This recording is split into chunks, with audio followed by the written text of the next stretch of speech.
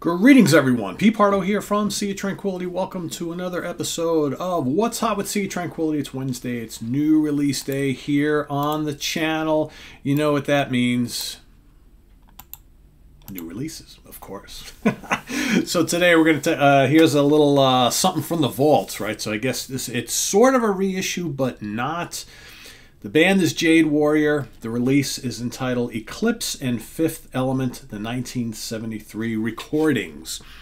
For those of you progressive rock fans, you're probably well aware who Jade Warrior is or are is. I think they're still kind of doing stuff, sort of, or at least they were for a while. Maybe not anymore. They were up into the 2000s, but it's been quite a while since we've heard everything from them.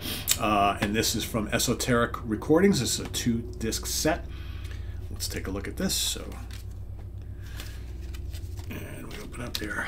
There's the guys in the band.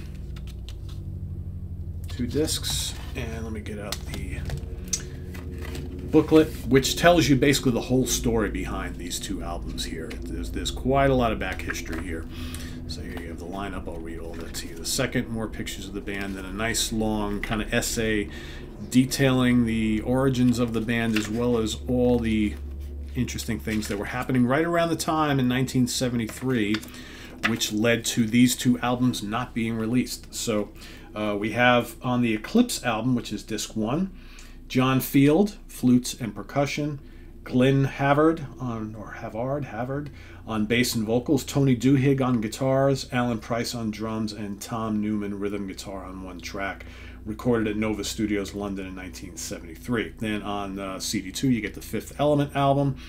Jon Field again, flutes and percussion. Tony Duhig, electric and acoustic guitars. Glenn Havard, bass and vocals. David Duhig, also on electric guitar, and Alan Price on drums, recorded at Nova Studios London in 1973.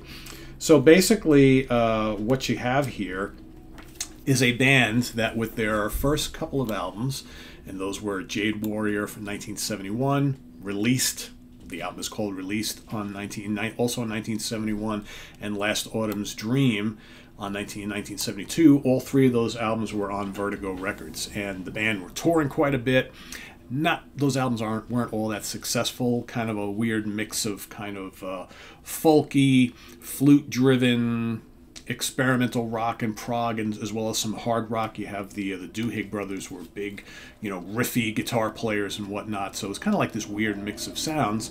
Uh, but like I said, the albums weren't all that successful, and after like uh, uh you know there were lot, all, all sorts of things going on inside the band that were uh, the, the fractions were already starting to happen and the band was kind of getting torn in two different ways so the record label Vertigo had decided that, you know what, we're going to drop you. After they had already gone into the studio and recorded enough for two albums worth of material. So those albums, these two albums in particular, never got released until now officially. Uh, you, we've seen bits and pieces of them come out uh, on certain reissues and stuff like that and compilations, but uh, never officially both albums released in their entirety till now. And shortly thereafter, the band were picked up by Island Records after they basically were no more.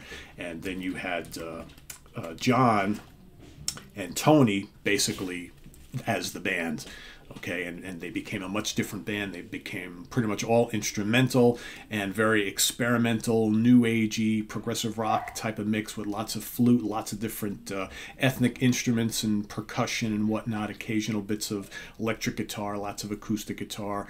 And you know the album's floating world waves and kites really, really remarkable albums that are very, really well beloved uh, to this day. But I, you know, I, for me, I find the early part of the Jade Warrior catalog actually pretty exciting and very unique. So here we have on these two albums uh, a weird mix of stuff, right? Again, you got some instrumental tracks, you have some uh, vocal pieces. Uh, CD1's got uh, English Morning, which is kind of like a poppy, kind of folky track. Actually, really good, nice melody to it. Then you got uh, Sangha, Too Many Heroes. Again, mixing stuff, flute, some guitars, lots of cool percussion and drums and things like that. Then you have Soldier Song, which is like this Black Sabbathy heavy metal rock song. Not heavy metal, but heavy rock. Um, and you get a few of those throughout these two CDs, which is really weird because that's kind of this yin and yang that was going on within the band. Uh, you get Mwenga Sketch, another really cool tune, Holy Rollers, another rocker, and then House of Dreams. Again, weird mix of styles, but it's a very very listenable album overall and you get lots of variety then over on fifth element you get uh, on the mountain of fruit which is a song that was later reworked on one of their later albums okay a little bit different you get uh, disco technique another big heavy rocker uh, hey rainy days another one we are the one 24 hour movie another heavy rock song annie yam jam that's kind of jammy kind of rocking and have you ever lovely flutes throughout, these albums for those of you who like flute but like a lot of percussion too great guitar work whether it's acoustic or electric. Uh, the vocals are actually really well done. So even though these two albums represent a band in serious disarray, uh, they're actually really good, really, really enjoyable. And if you've liked what you've heard from Jade Warrior, whether it's the first three albums or those next three Island records or anything they released thereafter, you know, most people kind of center on those uh, first six studio albums, even though they all are very different from each other. I think this fits right in the middle of them very, very well, these two albums here. So, uh, Esoteric Recordings, get this. Uh, I got this from Ken Golden at lasercd.com, Laser's Edge, but uh, you can pretty much get these any this anywhere. Cool cover art, I think, too.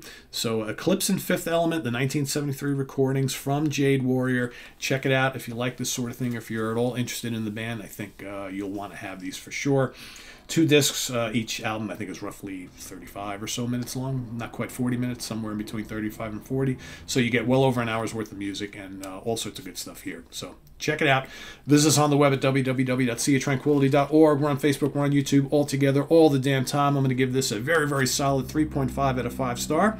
And uh, we'll see you here hopefully shortly with more new album releases. Like I said, we got a, all of a sudden, once again, I got a stack of stuff to get to. Uh, I, I got to carve out some time to uh, check out, uh, watch, and listen to the Transatlantic Live thing. That's uh, that probably is going to be another week or two at least. Uh, I've got uh, but ones that are happening hopefully real soon. The new Kamelot, the new Cold Stairs, new Night Demon, and new Redemption. Those are like on tap for you may get one one of those uh, today, but the rest will probably be for next week. So uh, lots of lots of cool stuff that, that I've got that uh, I'm just waiting to review. So uh, stay tuned for that and more here on the channel. Please subscribe if you haven't already and click on that notification bell so you get alerted of all of our content as it posts. And please do hit the like button before you leave.